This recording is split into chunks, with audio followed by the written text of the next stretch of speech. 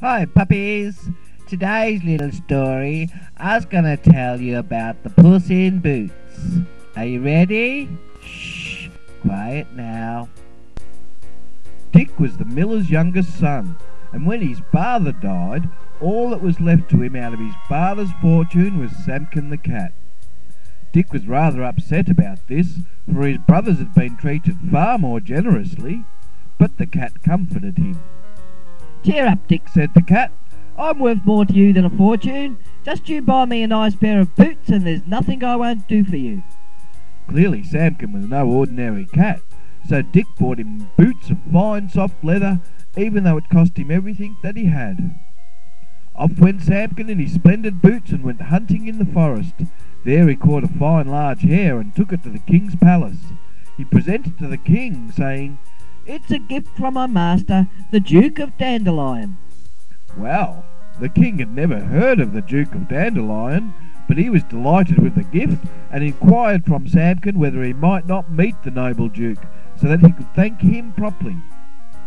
My master would be honoured to receive you, said Samkin, and told the king how he might get to the Duke's castle. The king said he would call the very next day, and bringing his daughter, the Princess Petal, with him. Next morning, Samkin told Dick that if he would bathe in a certain river, it would bring him great good fortune, and he showed him a spot not far away from where he had told the king to drive. When he was in the water, Samkin ran off and met the king on his way. Something terrible has happened, he told the king.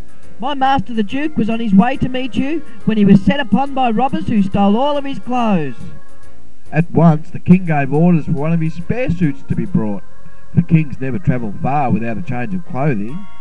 Sam took the clothes and hurried to Dick and told him to get dressed in them. For, said Samkin, the king wishes to meet you and will most likely dub you the Duke of Dandelion. Dick looked very handsome in his fine clothes, and Princess Petal fell in love with him on the spot. Dick rode with the king and the princess in their coach, which continued on the route that Samkin had described the day before. Off went Samkin again, running cross country to reach the castle that was the coach's destination. Now this castle belonged to the wicked wizard of Wump, who was ten feet tall and who was waited on hand and foot by a host of unhappy people, whom he had enchanted and who were his slaves. I am told, said Samkin to the wizard, that you are a very great wizard indeed, and that there is nothing in this world you cannot turn yourself into. True, cried the wizard and became a huge tiger and roared at Samkin. The most impressive, quavered Samkin, trying not to sound scared. But this is a trick my old master, the Wizard of Woz, would often do to amuse the children. But then he was a very ordinary wizard, and many things are quite beyond his powers. For example, he could never manage to turn himself into anything smaller than what he was. Aha! cried the Wizard of Wump, who had never heard of the Wizard of Woz. A very second-rate wizard, old Woz was. Not in my class. Now I can become anything, any size. A mouse? inquired Samkin.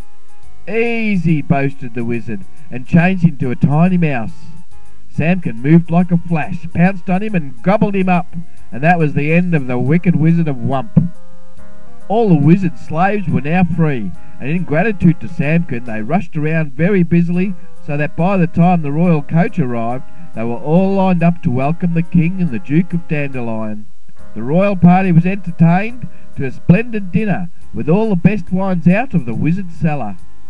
The king was most impressed with his new neighbour, the Duke of Dandelion, and by now Dick had fallen deeply in love with the Princess Petal, so that when he asked for her hand in marriage, the king was delighted. So Dick and his princess and Puss in Boots lived happily ever after. Ah, oh, what a lovely story. Alright, puppies, that's it for today. See you next time on Dinkum Dog.